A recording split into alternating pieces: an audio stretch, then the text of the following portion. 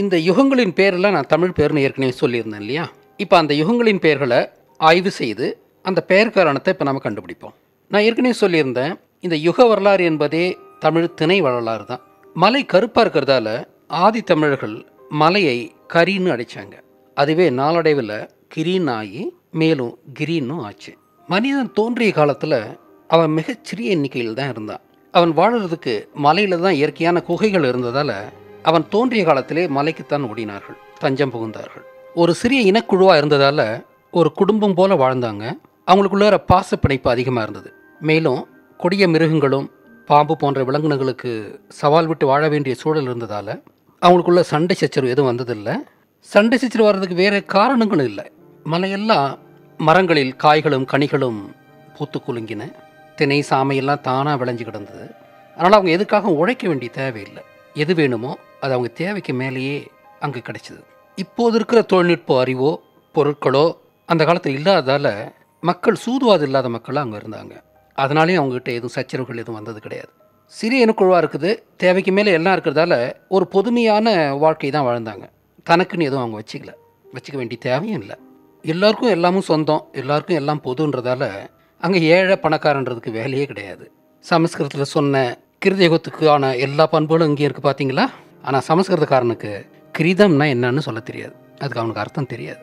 தமிழில் வந்தால் தான் அர்த்தம் புரியும். கிரீதம் என்பது மலைவாழ் காலத்தை குறித்தது கிரி என்பது மலையை குறித்தது ஆனால் அவங்க அதை சத்திய யுகம்னு சொன்னாங்க. அது தப்பு. இந்த மக்கள் சத்தியமாக வாழ்ந்தாங்கலாம் ஒன்றும் கிடையாது. அவங்களுக்கு ஆரம்பத்தில் சத்தியத்துக்கும் அசத்தியத்துக்கும் வித்தியாசமே தெரியாது. அது பிற்காலத்தில் தான் கொஞ்சம் கொஞ்சமாக உணர்ந்துக்குவாங்க அதனால் இந்த யுகத்தை சத்திய யுகம்னு சொன்னதே அவங்களுக்கு வந்து எவ்வளோ அறிவு குறவாக இருக்குன்னு தான் அர்த்தம். சரியாக புரிஞ்சிக்கல. நாளாக நாளாக அங்கே மக்கள் தொகை கூடிக்கிட்டே போகுது. புதிய பல கண்டுபிடிப்புகளும் அங்கே செய்கிறாங்க இரும்பை கூட அங்கே தான் கண்டுபிடிச்சிருக்கணும்னு நான் நினைக்கிறேன். இந்த காலகட்டத்தில் தான் ஆதிநாதன் எனும் சிவன் அங்கே மலையில் பிறப்பெடுக்கிறாரு. அவர் தனது சமகால மக்களை விட அறிவிலும் ஞானத்திலையும் ஒரு அதிசய பிரிவாக இருக்கார். ஓக முறையை கண்டுபிடிக்கிறார். கல்லால மரத்தின் அடியிலிருந்து அவர் தான் வேதத்தை முதல் முதலில் சொல்லுகிறார். மலைகளில் மட்டும் காணப்படும் ஒரு வகை ஆலமரத்துக்கு தான் கல்லால மரம்னு பேர். அவர் தென்னாட்டு மலையில் வாழ்ந்த அறிவர் என்பதற்கு இது ஒரு மிகப்பெரிய ஆதாரம். அவர் காலத்துக்கு பிறகு மக்கள் தொகை மலைகளில் இன்னும் அதிகமாக பெருகிடுது. இயற்கையாக கிடைக்கும் வளங்கள் அங்கே பத்தலை. அதனால் மக்கள் கீழே இறங்கி தரைக்கு வர வேண்டிய நிலைக்கு தள்ளப்படுறாங்க.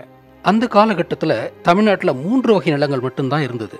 அதாவது குறிஞ்சி எனும் மலையும் மலை சார்ந்த இடமும் முல்லை எனும் காடும் காடு சார்ந்த இடமும் நெய்தல் எனும் கடலும் கடல் சார்ந்த இடமும் தான் இருக்குது விவசாயம் அப்பொழுது தொடங்கப்படவில்லை. மக்கள் மலையிலிருந்து இறங்கி தரைக்கு வந்தாங்கன்னா காட்டுக்கு வந்தாங்கன்னு தான் அர்த்தம். காட்டுலேயும் மரஞ்செடி கொடிகளினுடைய கனி காய்கள் கிடைக்கின்றன. ஆடு மாடுகளில் பால் அதனுடைய இறைச்சி இதெல்லாம் இவங்களுக்கு பயன்படுது. இங்கேயும் தேவைக்கு மேலே எல்லாம் கிடைக்குது. இங்கேயும் ஆரம்பத்தில் ஒரு பொது உடைமை சமுதாயமாக தான் அவங்க வாழ்ந்துட்டுருக்குறாங்க. மலைகளின் பரப்பை விட இந்த காடுகளின் பரப்பு மிகப்பெரியதுன்றதால இவங்க மக்கள் தொகை கூடி இருந்தாலும் கூட அவங்களுக்கு ஆரம்பத்தில் சிக்கல் இல்லாத வாழ்க்கை தான் இருந்துக்கிட்டு இருந்துச்சு. ஆனால் அதிக மக்கள் வாழ்ந்தாலே பிரச்சனைகள் உருவாகும் என்பதால் கிரித யுகத்தை விட இந்த யுகத்தில் தர்ம சிந்தனை குறைஞ்சிருக்குன்றது வேணா உண்மைதான். இந்த யுகத்தில் தான் ராமனின் கதை அரங்கேறியது. கிரியில் வாழ்ந்த காலத்தை கிரிதம் என்று அழைத்தது போல தரையில் காடுகளில் வாழ்ந்த இந்த காலத்தை தரைதம் என்று அழைத்தார்கள். ஆரிய பிராமணர்களால் தரை என்பதை உச்சரிக்க தெரியாது. எனவே அவர்கள் தரை என்பதை த்ர என்பதுதான் உச்சரிப்பார்கள். அதனால தான் இந்த யுகத்தை திரேத யுகம் என்று சமஸ்கிருதத்தில் மாற்றும்போது அவங்க பதிவு வச்சுட்டாங்க. எனவே பிராமணர்கள் நினைச்சது போல இந்த சொல்லுக்கு மூன்றுன்னு பொருள் கிடையாது. திரேதம் என்பது தரைவாழ் காலத்தை குறித்த ஒரு சொல். இங்கும் மக்கள் தொகை மிகுந்த அளவில் பெருகிட்டு போகுது. அவங்களுடைய அறிவும் கண்டுபிடிப்புகளும் பெருகிட்டு தான் போகுது. ஒரு காலகட்டத்தில் காட்டில் கிடைக்கின்ற இயற்கையான பொருள்களோடு அவங்களுக்கு பத்தாமல் போயிடுது. காடும் பத்தலைன்னா எங்கே போகணும்? ஆதி தமிழ் நிலத்தில் மூன்று வகையான நிலங்கள் இருந்தது நாம் ஏற்கனவே பார்த்தோம். குறிஞ்சியும் முடிஞ்சது முல்லையும் முடிஞ்சது. அடுத்தது கடலும் கடல் சார்ந்த நிலங்களுமான நெய்தல் தான் பாக்கி. கடல் வளங்களை நுகர தேவையான தொழில்நுட்பங்களை உருவாக்கிக்கிறாங்க. ஆனால் அதே சமயத்தில் இன்னொரு நிகழ்வு நடக்குது. அதாவது காடுகளை திருத்தி விளை நிலமாக்கி விவசாயம் செய்வதற்குரிய தொழில்நுட்பத்தையும் வளர்த்துக்கிறாங்க.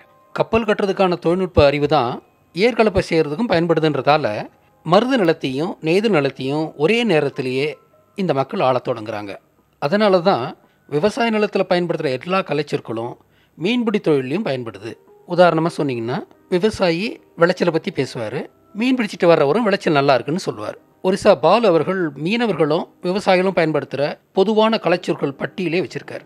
இதிலிருந்து என்ன தெரியுதுன்னா விவசாயிகள் மருத நிலத்தையும் மீனவர்கள் நெய்தல் நிலத்தையும் ஒரே காலகட்டத்தில் பண்படுத்தி ஆண்டு அனுபவித்தார்கள் என்பதுதான்.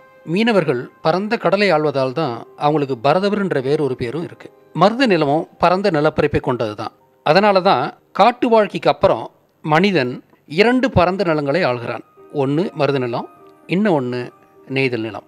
இந்த இரண்டு நிலங்களையும் ஆள்வதால் தான் இந்த காலகட்டத்திற்கு துவ பர யுகம் என்று பெயர் வைத்தார்கள். தமிழில் தோன்னா இரண்டு உதாரணத்துக்கு தோசை தோல் என்ற சொற்களை சொல்லலாம். ஆக தோ என்பது அது இரண்டு நிலங்களை குறிக்கிறது.